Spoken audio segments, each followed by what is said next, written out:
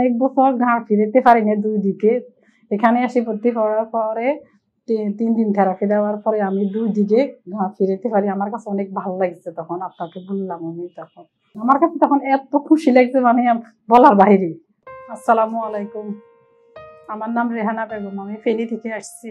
আমি একদম গৃহিণী, আমি আজকে সাত বছর ঘাড়ের ব্যথায় অনেক ভুগতেছি। হাঁটু ব্যথা, হাঁটু, হাঁটুতে পানি জমে গেছিল। হাঁটার কোনো ব্যবস্থা ছিল না, আমার অনেক কষ্ট পাইছি। অনেক দিন পর্যন্ত। বিছানা একদম পড়ে গেছিলাম। তিন মাস তো একবারে হাঁটতে পারি নাই আমি। এখন আশা করি ডিপিএসসিতে আসি। আমি মোটা সুস্থ হয়ে গেছি। প্রথম দিন আমি বসা ছিলাম নিচে বসা থেকে উঠতে আমার এই জায়গায় একটা আওয়াজ হয়েছে ঘাড়ের মধ্যে। আওয়াজ হয়েছে তখন আমি মানে বেহুশের মতো হয়ে গেছি ব্যথায় আমার মেয়ে আসি আমাকে খাটে শোয়াই দিচ্ছে বিকালবেলা ডাক্তার কাছে নিয়ে গেছে। কিছুই বলে না, পরীক্ষা, কিছু পরীক্ষা টরীক্ষা দিচ্ছি। পরীক্ষাগুলা করার পরে ডাক্তার বলছে, এখানে গাড়ি একটা ইনজুরি হয়েছে। এটাই বলছে। এক মাস দেখানোর পরে আমাকে থেরাপি দিচ্ছি। থেরাপি দেওয়ার পরে আমি পনেরো দিন ভালো ছিলাম। তখন আবার শুরু হয়ে গেছে আগের মতো। জীবনে আমি রাত্রে ঘুমাইতে পারি নাই, অনেক কান্নাকাটি করছি। সারা রাত সোফার মধ্যে মাথার এইভাবে রাখি আমি ঘুমাইছি। অনেক সময় সারা রাত কাটি গেছে, চেয়ারে বসা। ঘুম আছে কিন্তু চোখে ঘুম আসে না। চোখের পানি ঝরঝর করে পড়তেছে, ব্যথা। তাদের যেন ছাপা পড়ে গেছে, কীরকম ভারী আমার ফল। এখন আমার কাছে আর কিছুই লাগতেছে না, এখন মোটামুটি অনেক ভালো আছি, আমার সব ফাতল হয়ে গেছে, এদিক সব পাতলা হয়ে গেছে। এদিক সেদিক আমি সাত বছর দেখিই নেই।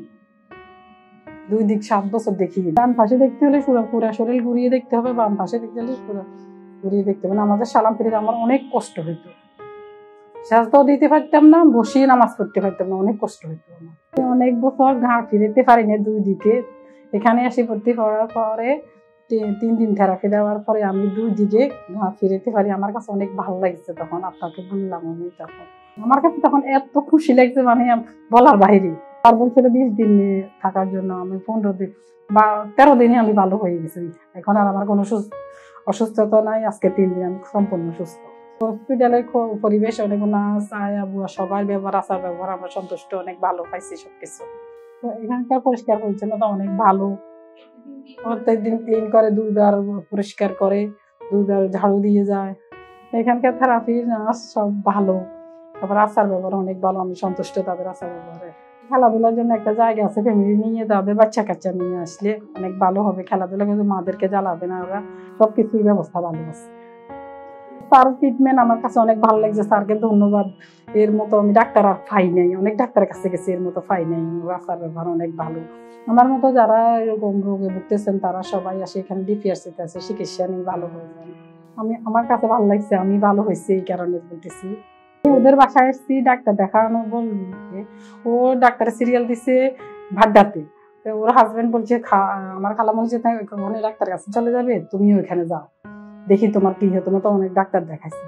উনি আমার সাথে আসি, উনিও ভালো দেখাইছে, ভর্তি হয়েছে। উনি অনেক খুশি, উনি কোনোদিন ডাক্তারটা খবর জানতো না, উনি ঢাকার আছে কিন্তু জানতো না। আমার বোনের মেয়েটার মাত্র আট দিনে সুস্থ হয়ে বাসায় চলে গেছে। ডক্টর শফিউল্লাহ সাহেবের জন্য আপনারা দোয়া করবেন সবাই। নার্স, থেরাপিস্ট, সবার জন্য আমি দোয়া করে, তারা আমাকে অনেক সেবা দিচ্ছে।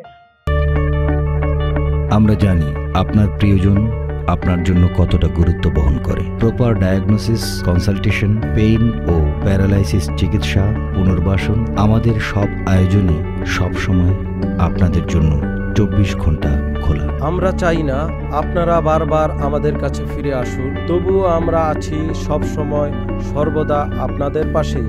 ডিপিআরসি হসপিটাল লিমিটেড আস্থা বিশ্বাস ও নির্ভরতায় অবিচল।